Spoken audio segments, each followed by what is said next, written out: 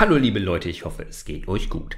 Ein Ding, mit dem Creator, wie ich zum Beispiel, sich ihren Lebensunterhalt finanzieren, ist Werbung vor YouTube-Videos. Und generell funktioniert viel mit Werbung heutzutage.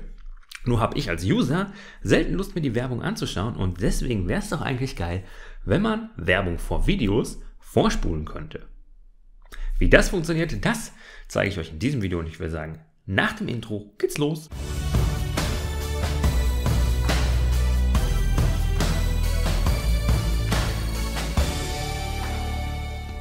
Selbstverständlich kann man sich auch einen Adblocker installieren und man sieht gar keine Werbung mehr. Das wäre aber doof für mich, weil dann verdiene ich nichts an diesen Videos, die ich hier für euch mache, weil eigentlich kriege ich ja gar nichts dafür. Ähm, wie auch immer. Die meisten Videos schaue ich im Microsoft Edge Browser und dafür gibt es eine schöne Erweiterung, die es aber auch für Firefox und Google Chrome gibt und die schimpft sich Global Speed. Selbstredend ist das Ding völlig kostenlos. Es ist sogar Open Source Software, das heißt, wenn ihr da gut drin seid, könnt ihr sie selbst noch verbessern und wie das alles funktioniert, würde ich sagen, erkläre ich euch mal eben hier am Bildschirm.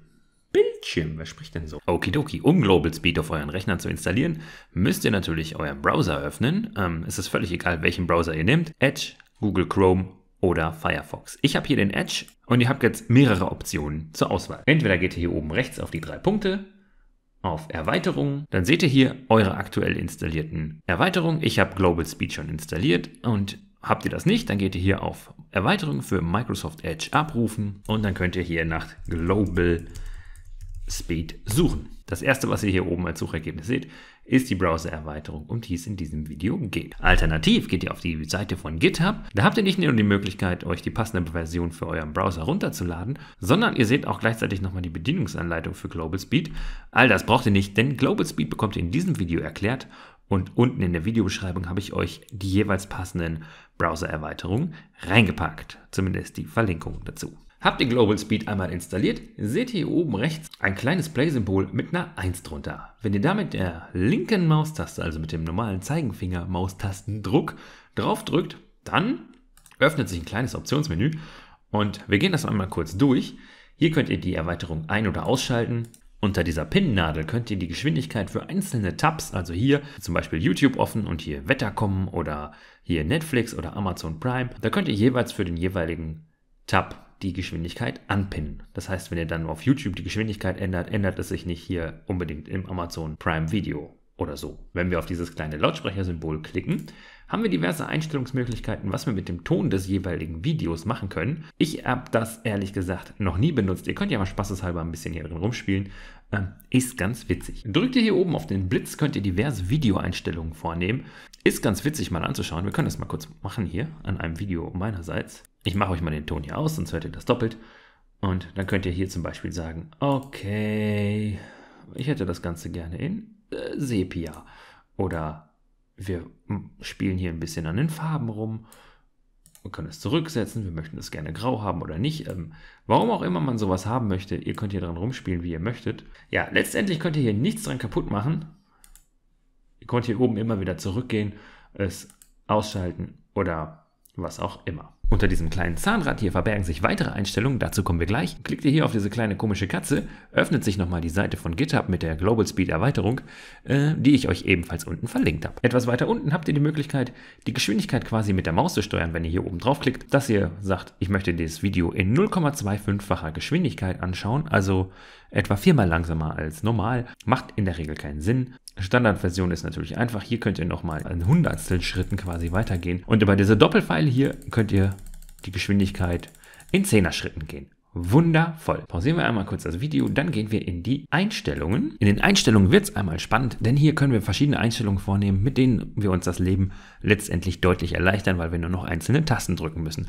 Gehen wir einmal von oben nach unten durch. Wir können hier oben die Sprache einstellen, haben aber leider kein Deutsch dabei, also müssen wir Deutschen mit Englisch vorlieb nehmen, es sei denn, wir können äh, hier sowas hier. Äh, ich kann es nicht. Wir können hier ein Dark Theme einstellen, falls uns das interessiert. Wir können den Indikator in den Videos äh, verstecken. Das Anpin können wir auch verstecken. Das Feedback-Volume, das drehe ich immer ganz leise, weil es nervt eigentlich nur, wenn man da irgendwie was dran rumfummelt, finde ich beim Video. Ist aber jedem selbst überlassen. Und Pin by Default heißt, dass wenn ihr einen neuen Tab öffnet, dann ist die Geschwindigkeit der Browser-Erweiterung gesetzt, die aktuell gesetzt ist. Unter diesen drei Punkten haben wir noch einen Fullscreen-Support und einen Ghost-Mode, keine Ahnung, was das ist. Äh, jo. Und hier können wir noch von dem Indikator, das heißt oben links das Symbol, was ähm, euch die Geschwindigkeit des aktuellen Videos anzeigt, können wir noch in der Größe ändern, in der Farbe ändern und äh, wie rund es ist. Also eigentlich alles gar nicht spannend. Spannender wird es hier unten bei den Shortcuts.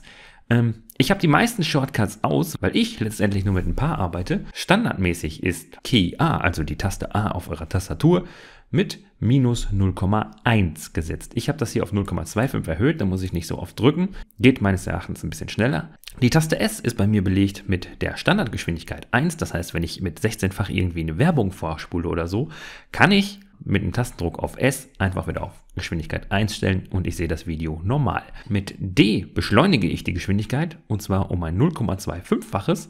Das heißt immer um einen Viertelschritt nach oben. Und die anderen habe ich alle deaktiviert. Die könnt ihr euch aktivieren oder nicht. Je nachdem, für wie sinnvoll ihr die erachtet oder wie oft ihr es braucht, müsst ihr euch einfach mal hier dran ausprobieren. Unter den URL-Rules könnt ihr noch einstellen, welche Webseiten mit welchen Geschwindigkeiten eingesteuert werden. Macht für mich auch nicht persönlich viel Sinn, weil über die Schnelltasten ist man doch schon relativ schnell. Kommt ihr überhaupt nicht klar mit dem Programm, dann schaut ihr dieses Video hier quasi nochmal von vorne, geht auf die GitHub-Page oder lest einfach die Fox. Jetzt würde ich sagen, zeige ich euch das Ganze nochmal im Betrieb, damit ihr auch wisst, wovon ich rede. Dazu öffnen wir einfach mal dieses Video hier von mir und schauen, was man damit machen kann. Ton ist an, damit ihr auch mitbekommt, wie das mit dem Ton funktioniert, wenn ihr das Video beschleunigt. Standardmäßig könnt ihr hier auf YouTube sagen, okay, ich würde dieses Video gerne in einer anderen Wiedergabegeschwindigkeit sehen. Und da können wir entweder von einer Viertelgeschwindigkeit bis zu, ups, bis zur zweifachen Geschwindigkeit gehen. Das hat schon mal den Vorteil, dass man Informationen wesentlich schneller aufnehmen kann und ein Video deutlich, deutlich schneller ja, durchschauen kann und bis zu dem Punkt kommt, wo es für einen wirklich spannend wird. Gehe ich hier oben auf die Geschwindigkeit, kann ich jetzt einfach sagen, okay, zeig mir das Video in zehnfacher Geschwindigkeit, was kein Mensch mehr versteht, aber ich könnte es machen und das Video läuft deutlich schneller durch. Okay, drücke ich jetzt bei mir die Taste S, springt es wieder, ihr habt es hier oben gesehen, auf die einfache Geschwindigkeit mit einem Tastendruck auf D beschleunige ich einfach das Video. Ihr seht das hier oben. Und mit A können wir das Ganze wieder langsamer machen, wenn es uns viel zu schnell ist. Beim längeren Gedrückthalten der Taste A oder D steigt die Geschwindigkeit bis zur maximalen Frequenz nach oben oder nach unten. Oder ihr springt halt einfach wieder auf 1, wenn es euch zu schnell wird. Okay, okay. Ach, jetzt ist das Video schon durch. Also, ihr hättet jetzt mit Global Speed quasi die Möglichkeit, entweder hier übers Zahnrad die Geschwindigkeit einzustellen über Global Speed per Tastendruck hier oben oder mit den Shortcuts, die wesentlich schneller und komfortabler sind und quasi auf jeder Webseite funktionieren, die ihr euch vorstellen könnt. Wenn wir jetzt mal auf YouTube sind und ich mache jetzt mir ein, meinen Adblocker hier aus, dann kriegen wir auf jeden Fall Werbung zu sehen. Aktualisieren wir das Ganze mal und schon sehen wir Werbung von meinen Videos und die können wir auch vorspulen. Können wir natürlich auch überspringen. Ich habe nur überspringbare Anzeigen. Und dann springen wir einfach wieder auf einfache Geschwindigkeit und sind im Video. Und das funktioniert nicht nur auf YouTube, das funktioniert auch hier auf wetter.com zum Beispiel. Haben wir auch ein bisschen Werbung. Spulen wir vor. Und springen wieder auf einfache Geschwindigkeit und schauen uns das Video an. Wobei den Wetterbericht, den kann man auch meistens in dreifacher Geschwindigkeit gucken. Ja, wie geil ist das denn? Ja, geil, oder? Und je nachdem, wie schnell derjenige in einem Video spricht, der da spricht, ähm, je nachdem könnt ihr die Geschwindigkeit des Videos anpassen. Also es gibt tatsächlich Video-Creator, die kann man in vierfacher Geschwindigkeit gucken, die sind aber in Normalgeschwindigkeit kaum zu ertragen. Und es gibt auch ultra lange Videos, die wirklich interessant sind, aber man hat nicht unbedingt immer die Zeit, sich eine halbe Stunde dahinzusetzen und das Ding dann anzuschauen. Und deswegen ist eine doppelte Geschwindigkeit schon ziemlich cool und eine dreifache ist noch viel geiler, weil dann habt ihr es in 10 Minuten statt in einer halben Stunde geguckt und das ist schon ziemlich fett, oder? Das spart natürlich ultimativ Zeit, die ihr auch damit verbringen könnt, die Werbung vor den YouTube-Videos zum Beispiel zu gucken, äh, mit denen wir unseren Lebensunterhalt verdienen. Yo. Macht wahrscheinlich keiner. Wie auch immer, wenn ihr noch irgendwelche Fragen zu Global Speed habt oder generell mal meine Browser-Erweiterung sehen wollt und wissen wollt, womit ich so arbeite, ähm, dann mache ich dazu gerne noch ein Video und wenn euch dieses Video hier gefallen hat, dann gebt dem Ganzen doch ein Like. Falls ihr jemanden kennt, der das nützlich findet, dann teilt es mit ihm. Und denkt unbedingt daran, diesen Kanal zu abonnieren, falls ihr es noch nicht habt. Und dann die Glocke zu drücken, weil das gehört irgendwie zusammen. Ansonsten würde ich sagen, das war's mit diesem Video. Wir sehen uns hoffentlich und garantiert im nächsten Video. Ich sage, haut rein. Bis dahin. Ciao.